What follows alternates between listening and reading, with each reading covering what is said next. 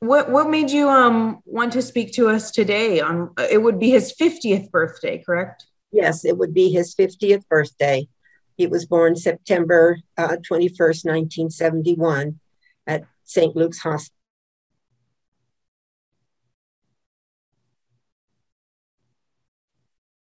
david was born with severe combined immunodeficiency disease known by the fearsome acronym SCID um, all children born with SCID prior to David had been doomed to die in infancy. Uh, we lost a son, David Joseph, age seven months in 1970. Before he passed away, he was diagnosed with SCID.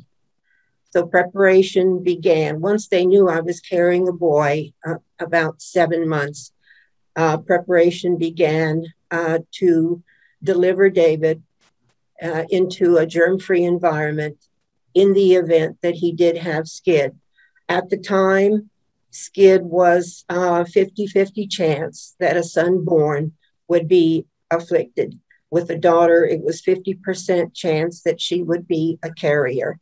So um, the bubbles were designed, constructed in time for his birth. Um, David had, it was a germ free delivery, which is unique in itself. And he was taken by way of a cesarean section so as not to pass through the birth canal. And he was removed, taken from me, and placed into this bubble that was just a, a few feet from the operating table, from the delivery table. And I had watched David placed into this bubble, and I had watched as one doctor baptized David, which was my only request, and the other doctor seal the bubble. He was then whisked away to Texas Children's Hospital. Actually, it was the Clinical Research Center at Texas Children's Hospital. And David was a patient of Texas Children's Hospital um, until he passed. So he did come home often and so I'm very, very proud to and very happy that David lived at home, that we raised our son. We had complete support um, and help from Texas Children's Hospital.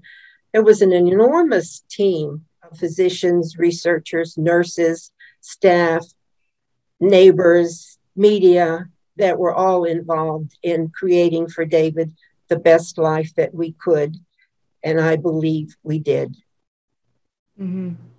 Um, you know, Ms. Demaret, I, I actually interviewed you uh, once before, and since that since that interview, um, I've become a mom to two boys, and it means a lot more to me now that you're speaking to me because I can understand that um, the pain that you feel from his loss is probably still very much with you, and I can just respect that you're still wanting to speak out um, as something that's still good for your son. It's still um, bringing uh, very positive memories back of of him, and I really respect that. And I'm very thankful that you're speaking to me today. I am um, proud of David's life. I'm very proud to share his story. I'm grateful uh, for the advances that have been made uh, because of David, and perhaps Dr. Davis can speak of that. But, um, you know, in the beginning, in the 1970s, very little was known. So, and David knew that there would be a, a chance for to be removed. He knew that science was working very hard to not to find a cure for him, but not only just for David, but for the thousands and thousands of other patients who live with primary immunodeficiency disease. PI is the umbrella of SCID. SCID is the most severe, but there are a lot of other issues with the immune system. So uh, there is something that's very uh, special to me, and that is shortly after David passed away, Dr. Ralph Feigin, who is physician in chief at Texas Children's our beloved Dr. Feigin and our beloved Dr. William Shear, who was David's physician, presented an idea to David's family, and that was to create the David, Center. so that all children born with faulty or compromised immune systems can be routed to the David Center, be treated, and in most cases go home um, well. What does that um, mean to you for the families that get to take their children home because of that? Well, I have embraced many children born with SCID that have been treated not just at the David Center, but you know throughout the United States, and um, I I am so, and, and they want to thank David through me and say to David's mom how honored they are to know that David sacrifices what it has meant to their children and to their family. And I am overwhelmed with pride and joy. The sorrow of losing my sons uh, is ever present, of course, but what their lives have meant to others that has been expressed to me uh, has been has brought me and David's father and his sister great joy. As it should. Thank you for everything that you've done. My pleasure. I don't have any other uh, questions that I have planned, but if you'd like to tell me anything else, or if anybody else on the call has anything else that you think we should talk about, um, that, those were all the questions that I had for you. Okay, well, I um, would really love to say that um, David's life uh, really impacted um, millions of people around the world because through his life and death, we learned about the immune system and we began to understand uh, things about the immune system that impacted not only children with primary immunodeficiency and adults with primary immunodeficiency, but um, people with AIDS, cancer, and other immune diseases. Because of David's contribution, we now can offer cure to children who have these diseases. Um, and so I, I really uh, want to uh, express the impact that David's life has, has made. The David Center has seen um, close to 15,000 children since its founding five years ago. And we're really proud of that uh, contribution to the community. Do those children come from all over the world and all parts of the country? They come from all over the world. So we have patients that come internationally to our center. And in the United States, there are approximately 50,000 um, children who and people who have primary immunodeficiencies. Um, there could be as many as actually half a million throughout the world. But we do see patients internationally in that center. We mm-hmm. also have, um, after David's uh, death, founded the William T. Shearer Center for Human Immunobiology that currently um, does experiments to perform better diagnostic um, methods, advances in treatment, and, uh, and discovery of novel diseases. So we're really excited about that as well. Mm-hmm. Um, Haley, let me uh, say one other thing that it's important.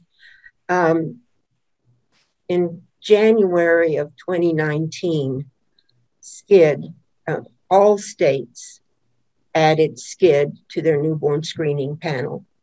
And it was a uh, long, years and years effort from many people throughout the nation uh, that lobbied on behalf of um, adding SCID to the newborn screening panel. And so I think that that you know, is a celebration in part uh, due to David's legacy. Um, and um, there's a school in the woodlands named the David Elementary, and they have uh, an event every year, the David Dream Run, and all proceeds go to the David Center so that the children, uh, unrestricted, so that ch- for children cure and for patient care, and for the families. So there's a lot of things that make us very proud and very happy that have happened throughout the years. We live with the heartache and the sorrow, but there is a, a balance for us, and that's how we can continue. I am, um, I just uh, every day I, I think of David. We, David's father and I remember him and talk about him often, as well as our son, whose life was very brief but very meaningful. He gave David Philip a chance at life, and David Philip's life and death gave others a better chance at life. Even though I believe he wanted to be free from his bubbles, he had an understanding of what was going on, and he knew science was working hard to find a cure, and not just for David, for all the others that I had mentioned. Um, so I think it's important that people not feel sorry for David or for his family because there was a lot of joy in in raising David. He had a great personality. He uh, understood. It was thought that David would, it, everything would be explained to David as he asked, and according to age appropriate, of course.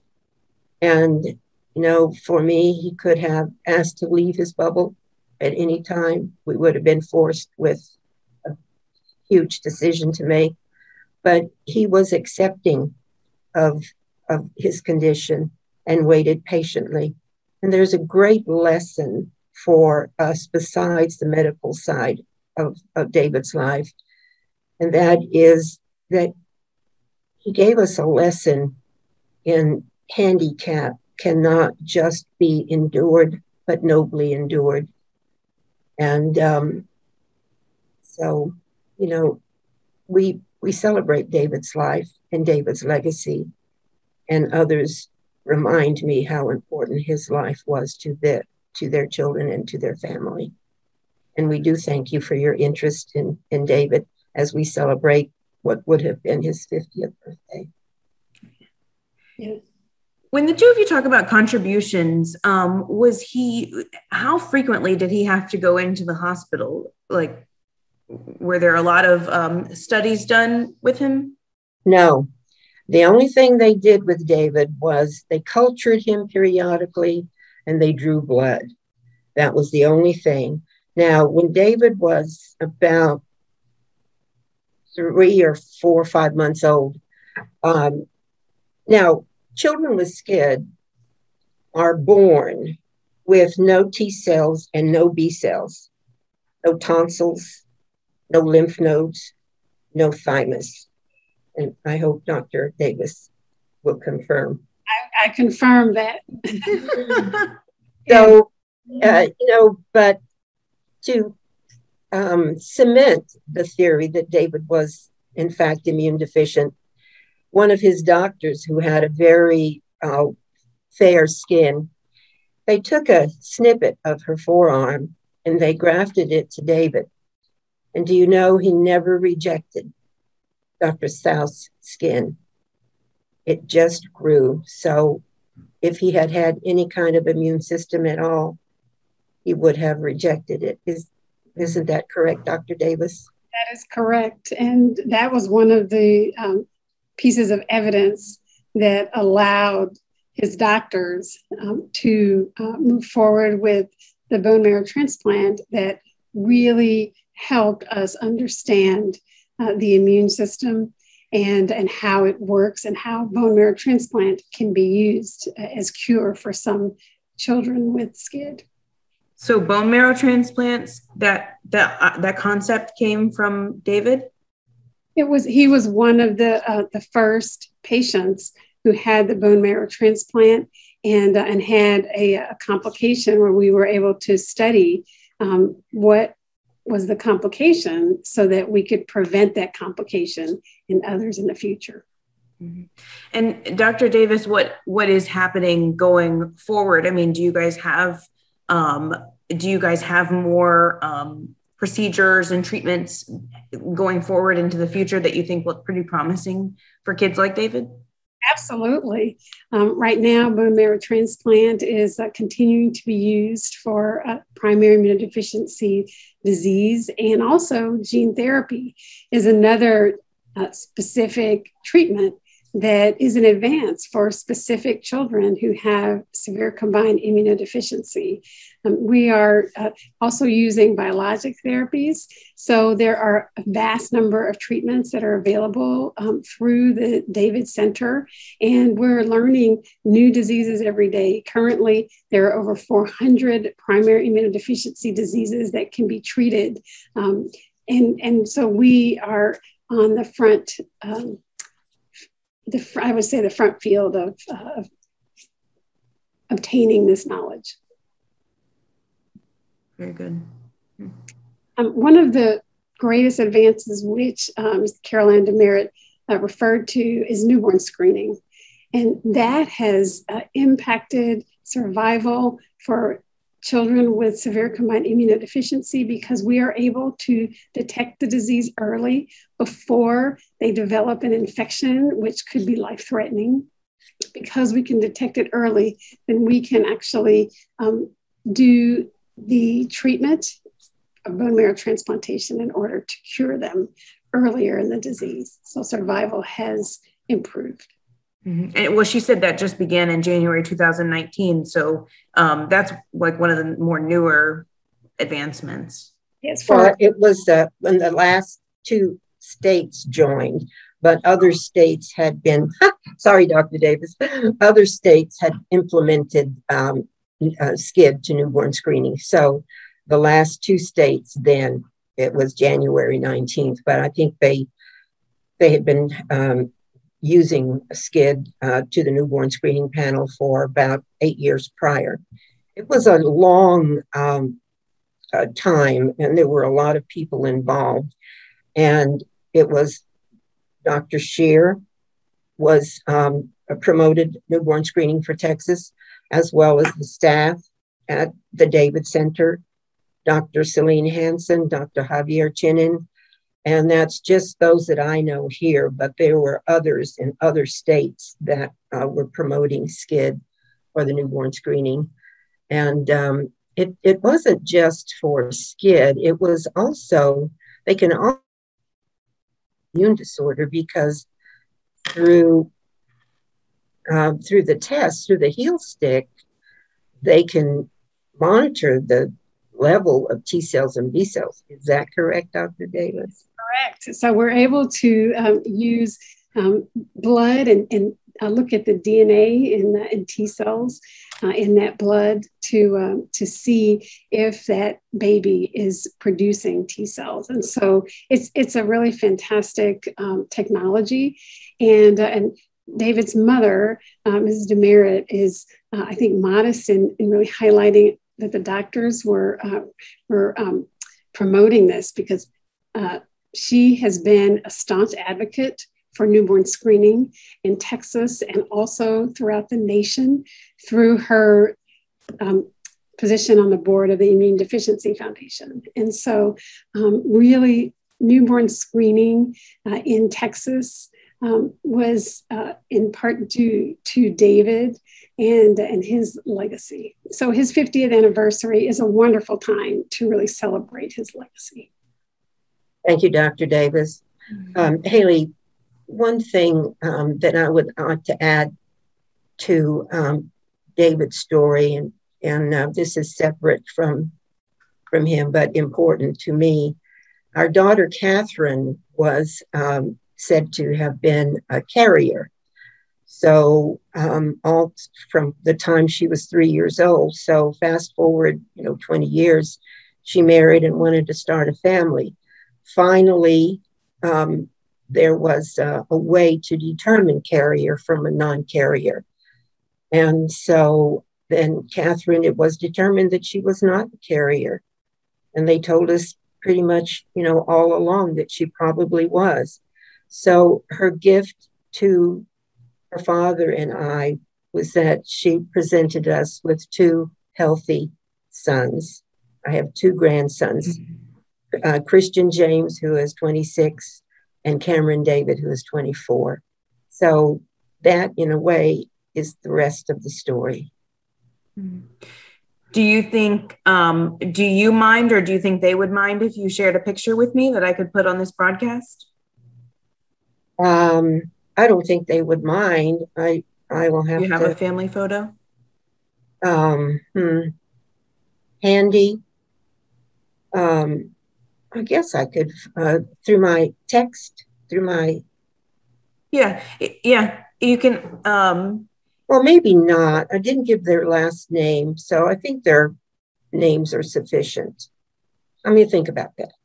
Okay, sure. Why don't you no problem. think about it, Carol Ann, and should you decide, you can send it to me and I'll forward it on to Haley. That would be great. Thank sure. you. Yep. Um, this is supposed to air today at five o'clock. Okay. So um, just, I mean, you have time, but just um, let me know before five o'clock, I guess. Yeah. Um, Dr. Davis, could you, um, we kind of jumped into things before I got your uh, name on camera. Could you tell me your first and last name and how to spell both? Sure. Carla Davis, C A R L A Davis, D A V I S. Um, I'm the chief of the section of immunology, allergy, and retrovirology here at Texas.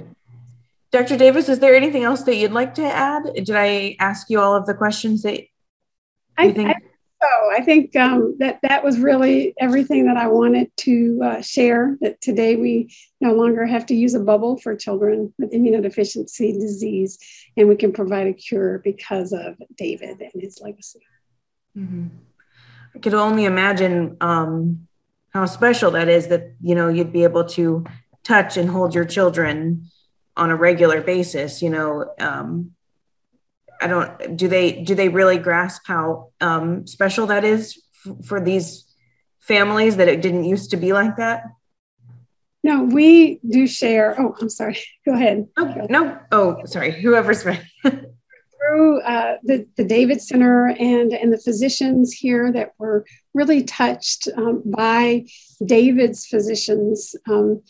You know, we share his story. We have David's picture um, on the walls in our clinic. So the patients that we see who have primary immunodeficiency are inspired by his story and, and his legacy when they come to our clinic.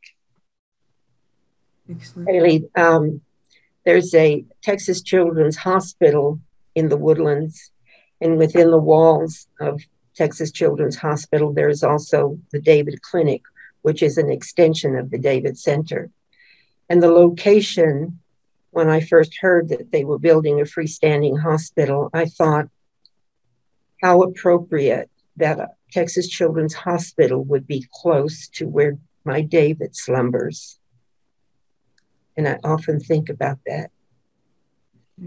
It's a fantastic collaboration that we've had in relationship with the uh, David Elementary School and David Fun Run, um, our section, and, and the David uh, Clinic, as well as the Center for Human Immunobiology, um, collaborate so that we can bring the advances to the clinic from the support that the community, David's communities, provides.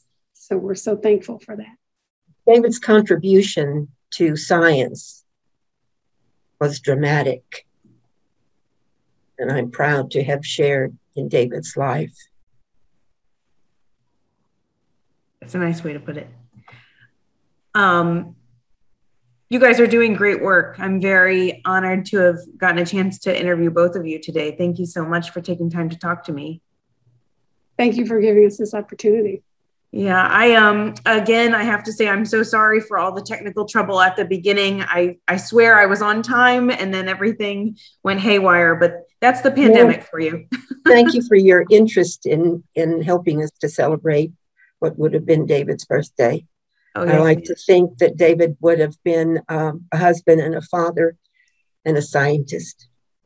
He, he definitely uh, has been described by his uh, main immunologist, William T. Shearer, is bright, intelligent, um, courageous, and brave in his fight against germs.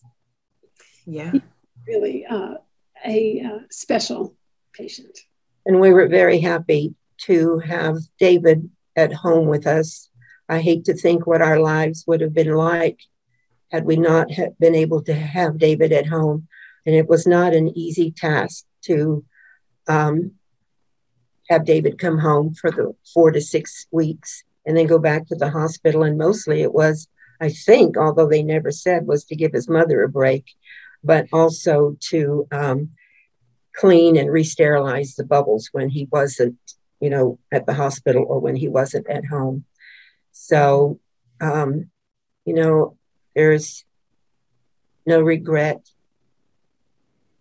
And I think David's life had purpose. And I think um, when the when the design David's life, when it was time, David has rapturous freedom now. And I'm okay. That has to bring you some comfort. Yeah. Well, I'm I am sorry for your loss, but I um, like I said earlier, I I admire that you're still being such a good mother to David by continuing to share his story and advocate for other children like him. I think it's important to make him proud. Mm.